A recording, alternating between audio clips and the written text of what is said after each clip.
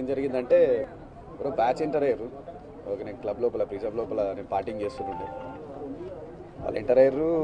Enter అయిన తర్వాత వాళ్ళు ఎందుకో వాష్రూమ్ పోయేసి మళ్ళీ రిటర్న్ వస్తున్నారు అనమాట రిటర్న్ వచ్చేటప్పుడు కమెంట్ చేసుకుంటా ఇక నా డాష్ ఇచ్చారు నాకు. మొబైల్ అని కమెంట్ చేసుకుంటే ఇలా డాష్ ఇచ్చారు నా పక్కన ఉంటే డాష్ ఇచ్చేసరికి వాళ్ళు చేయబట్టి ఆపిన.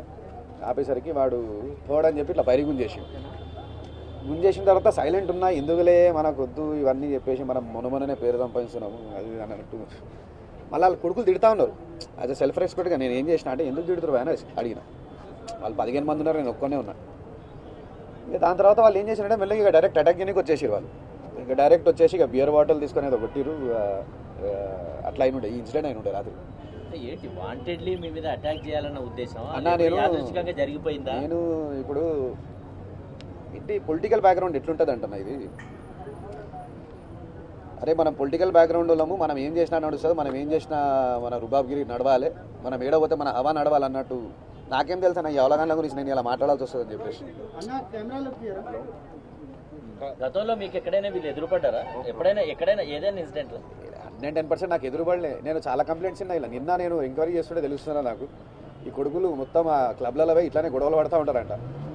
వాళ్ళు మళ్ళీ పొలిటికల్ బ్యాక్గ్రౌండ్ ఉంది కాబట్టి ఇంత గొడవలు పడుతున్నారు చేస్తున్నారు కానీ అమ్మతోడు ఆ పొలిటికల్ బ్యాక్గ్రౌండ్ ఉంటే చేయి కూడా ఇష్టడు కాదేమో వాడు. వాడు కూడా కూడా తెలియదు నాకు అమ్మతోడు ఎమ్మెల్యే తమ్ముడు అంట మళ్ళాడు అమ్మాయిల్ని ఏమన్నా అబ్యూజ్ చేశారా వాళ్ళు? కమెంట్ చేస్తుండే అన్న సౌండ్ ఉండే హండ్రెడ్ టెన్ పర్సెంట్ కమెంట్ చేస్తుండే. కమెంట్ చేసుకుంటే మీరు ఫుటేజ్ చూసారు కదా నలుగురు కలిపి ఒకటేసారి వస్తున్నారు. వచ్చి ఏం చేసిండంటే నా డాష్ కొట్టుకుంటా పోయిండు లాస్ట్ ఉన్నాడు కొట్టుకుంటా పోయినా అడిగినా వాడు చేయి పట్టుకుని వాడు అప్పుడు స్టార్ట్ చేసిండు గొడవ. తర్వాత మీరు కూడా అబ్యూజ్ చేస్తే వాళ్ళ పైకి వెళ్ళారు. ఫుటేజ్ మీరు చూసారు కదా? నేను అబ్జర్వ్ చేసినట్టు పోయినట్టుందా అది? సెకండ్ వాళ్ళు తీర్చు అదే సెకండ్ వీడియోనే. మీకు ఇప్పుడే తీసి చూపిస్తా ఉందా? ఫుటేజ్ మీ దగ్గర.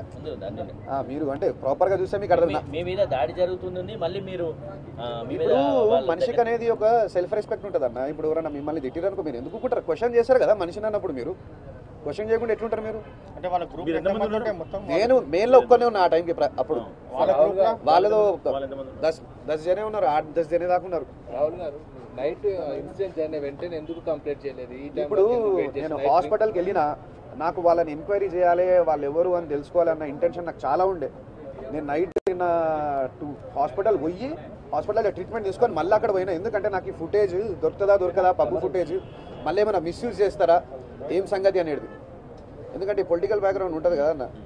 వాళ్ళు ఏం చేస్తున్నారంటే అటు ఇటు ఫోన్కి వెళ్ళి ఇన్ఫ్లుయెన్స్ చేపిస్తూ ఉంటారు అనమాట మీకేమన్నా వాళ్ళ నుంచి థ్రెట్ ఉందని అనుకుంటున్నారా ఇన్ ఫ్యూచర్ అనుబంధ ఆడ అవలాగాడు మీకు ఎప్పుడైనా ఇంతకుముందు రెడీ చేసేది పేర్లు తెలుసా? ఓరోరు దాడి చేసి? నేను విన్నా నిన్న రితేష్ రెడ్డి అంటాడు. ఇంకోడు పక్కన పొట్టికొకడు ఉన్నాడు. వాడు బాటిల్ బాగా కొడుతుండే. పేర్లు విన్నాను. అంటే మీరు మామూలుగా బాడీ లాంగ్వేజ్ మీ వే ఆఫ్ టాకింగ్ మీరు వాడు వీడని ఇట్లా మాట్లాడుతున్నారు కదా అదే మీకు ఇంత అయిన తర్వాత కూడా నేను వాడు వీడని మాట్లాడకపోతే నన్ను అవలగాన్ని అనుకుంటారు. ఇంత- తన్నులు బాటలు వలిగిన తర్వాత కూడా నేను మాట్లాడకపోతే నన్ను అవలగాన్ని అనుకుంటారు జనాలు. ఎందుకంటే జనాలు ఉట్టిగానే నన్ను బిగ్ బాస్ షోలో విన్నర్ చేయలేరన్న. ప్రేమతో నేను ఆ లోపల జెన్యునిటీ చేశాను. మనం జను పొంగి ఎందుకు పెట్టుకుంటాం? మోహన్తో ఇంత పేరు వచ్చిన తర్వాత కూడా పోయి పెట్టుకుంటాడా? పెట్టుకున్న తర్వాత మనసుకి ఎట్లా అనిపిస్తుంది? ఇప్పుడు ఆ హౌలగాన్ని మాట్లాడి నేను ఫేమస్ చేస్తున్నట్టు అవుతుంది తెలుసా? మీ వెంట వచ్చిన అమ్మాయిలకి ఏమన్నా కామన్ ఫ్రెండ్స్ ఉన్నారా లేదు లేదు ఎవ్వరు లేరన్న. సీరియస్ మా మ్యూజిక్ బ్యాక్గ్రౌండ్ నుంచి ఉండే ఫ్రెండ్స్ ఏమైనా ఫీల్ అవుతున్నారా? ఈ ఇష్యూ ఈ ఇష్యూ మీ కెరీర్కి ఏమైనా ఇబ్బంది అయితే ఏమైనా ఫీల్ అవుతున్నారా? ఏం ఇబ్బంది అవుతుందన్న నాలుగు రోజులు జనాలు చూస్తారు నాలుగు రోజులు ముచ్చట్లు వింటారు తర్వాత మర్చిపోతారు. ఇక వాడు ఉన్నాడు వాడు ఏం చెప్పుకొని తిరుగుతాడంటే పలానా రాహుల్ సిప్లింగ్ మీద మేము దాడి చేసినాం ఆ రోజు. అని మనం చెప్పుకొని ఒక రుబాపన దొరికింది. హండ్రెడ్ టెన్ పర్సెంట్ నేను ఏమంటా అంటే కంప్లైంట్ ఇచ్చిన కంప్లైంట్ రేజ్ అయింది. డెఫినెట్లీ వాళ్ళు జస్టిస్ జస్టిస్ జరుగుతుందని చెప్పేసి. అని చెప్పి నేను కోరుకుంటున్నా. అంటే ఎంక్వైరీలో political influence hundred ten percent చేస్తాడు కదా నా చేయడా? ఆయన చెప్తున్నారు మా తమ్ముడు చెప్పేసి. నేను ఇవ్వని కలవన్నా అయ్యో గవర్నమెంట్ ఉన్నది. వాళ్ళకి తెలుసు. అటాక్ ఎట్లయింది? ఇక్కడ నుంచి కాదు పెద్ద పెద్ద పెద్ద పెద్ద లెవెల్ దాకా రీచ్ అయిపోయింది ఇది. డీసీపీ సిపిస్ వరకు రీచ్ అయిపోయింది. వాళ్ళకి తెలుసు. నేను ఎవరు అటాక్ చేసారు ఎవరు పాల్పడ్డారు ఏం సంగతి అనేది. They have to do justice చూస్తా ఏమవుతుందో ఏం ఏం చెప్తున్నారంటే వాళ్ళ సోదరుడు అక్కర్లేదు వాళ్ళ బంధువులు ఉన్నారని చెప్పి చెప్తున్నారు దమ్మునోడైతే నిజం చెప్తాడు.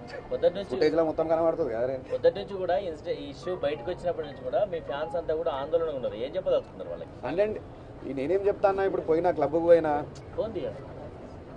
చెప్పచ్చు. క్లబ్కి పోయినా క్లబ్కి పోయిన తర్వాత ఎంజాయ్ చేయడానికి పోయినా పోతే వాళ్ళు ఏం చేసిర్రు? రూపాపన చూపించుకుర్రు పొలిటికల్ బ్యాక్గ్రౌండ్ పెట్టుకొని. మన హవా చూపిద్దాం అనుకుర్రు. దస్ పంద్రా జనే ఉండే వాళ్ళు. టెన్ మెంబర్స్ ఈజీగా ఉండే వాళ్ళు. చలో రుబాబ్ చూపిస్తాం తర్వాత మనకు ఫ్యూచర్ ఉంటుంది కదా వాని కొట్టినాం వీని కొట్టినాం అని చెప్పుకుంటేందుకు చేసిన పనులు అని రాహుల్ సిప్లి గంజ్ కూడా రెగ్యులర్గా పబ్లిక్ వెళ్తుంటాడా? హండ్రెడ్ టెన్ పర్సెంట్ మనిషిని కదా అన్న నేను. కానీ నేను ఎవరికి వెళ్ళకానా పోతే వస్తేస్తాను నేను. నేను అని మనుషులు అన్నప్పుడు ప్రతోడు పోతాడు. మీరు బార్లకు పోతారు నేను క్లబ్కి పోతాను ఏ టైం? పాట వాడిన హండ్రెడ్ టెన్ పర్సెంట్ అరే బ్యాండ్ ఉండే జనాలు రాహుల్ రావు అరిచిర్రు అరిచినప్పుడు నేను ఒక ఒక పాట పాడి వాళ్ళని ఎంటర్టైన్ చేసిన. అంటే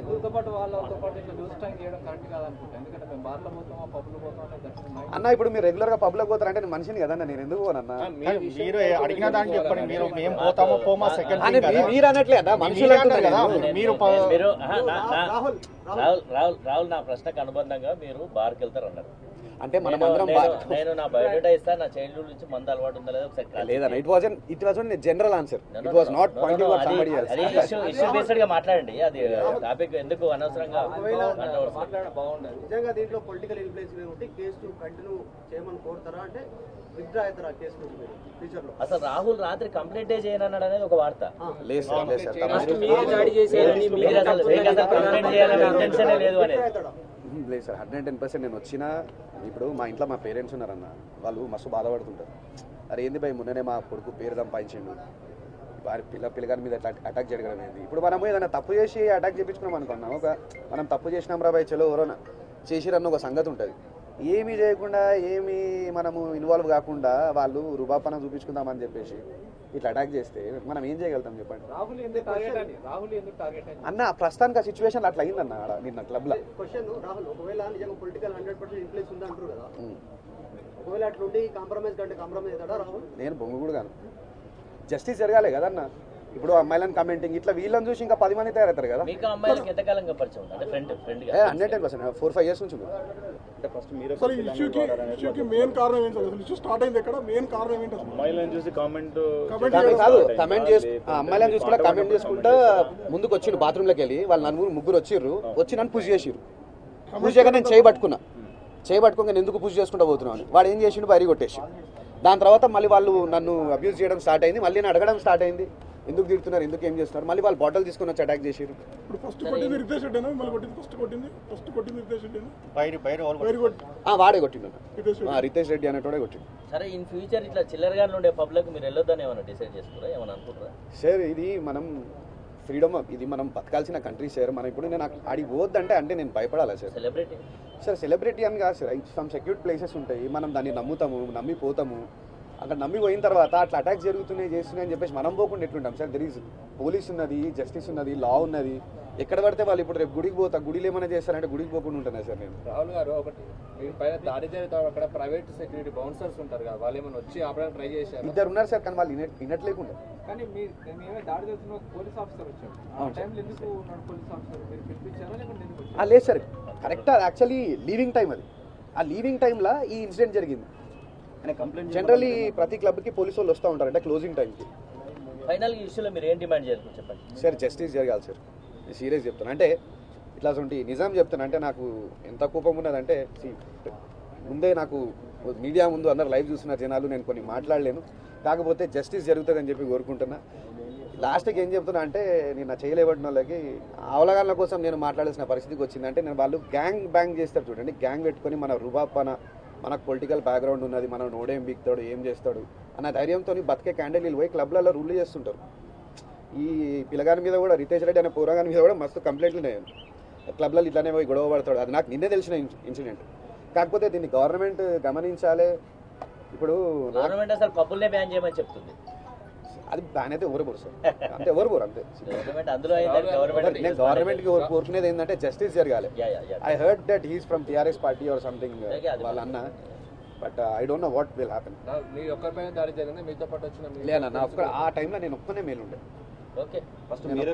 ఫిల్తీ లాంగ్వేజ్ ఎవరు వాడారండి అంటే వాళ్ళు వాడారా లేకపోతే మీరు వాళ్ళు. చెప్తున్నారు ఏంటంటే మీ అక్కడి నుంచి ఫిల్తీ లాంగ్వేజ్ వాడడంతో గొడవ స్టార్ట్ అయిందని అని చెప్తున్నారు. ఎట్లా పాసిబుల్ అవుతుంది ఒక వీడియోలో మీరు డోంట్ టచ్ అంటూ మీరు మీరు మీ వాయిస్ వినిపిస్తుంది. మీరు డోంట్ టచ్ మిమ్మల్ని పట్టుకుంటున్నారు అప్పుడు కూడా మీరు కొంత ఫిల్త్ లాంగ్వేజ్ అవతల వాళ్ళని అంటున్నారు. అది సార్ అది ఎమో మనిషికి అనేది ఒక ఎమోషన్ ఉంటుంది. సార్ కోపం వచ్చినప్పుడు మనిషి రియాక్ట్ అవుతుంటాడు దానికి. అట్లా అని చెప్పి వాడు గల్ల పట్టుకున్నప్పుడు అన్న ప్లీజ్ అన్న వదిలే అన్న అని మాట్లాడం కదా.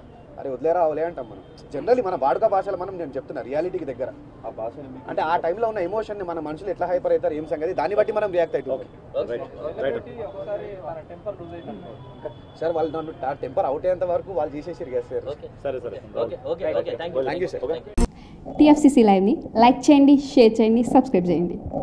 నేను మీ దుర్గాంజలి ఇలావెట్టి అందరికీ నమస్కారం. మన టీఎఫ్సిసి లైవ్ని లైక్ చేయండి షేర్ చేయండి సబ్స్క్రైబ్ చేసుకోండి మీ మోనిక థ్యాంక్ యూ మన టీఎఫ్సీసీ లైవ్ని లైక్ చేయండి షేర్ చేయండి సబ్స్క్రైబ్ చేయండి నా పేరు మైథిలి నమస్తే థ్యాంక్ యూ టిఎఫ్సిసి లైవ్ ఛానల్ని లైక్ చేయండి సబ్స్క్రైబ్ చేయండి షేర్ చేయండి Subscribe to TFCC Live. Hi everyone, this is Raj Kantkori. Subscribe to TFCC live channel. Hello, this is your all supplicants. Please do subscribe uh, TFCC live channel. Thank you so much.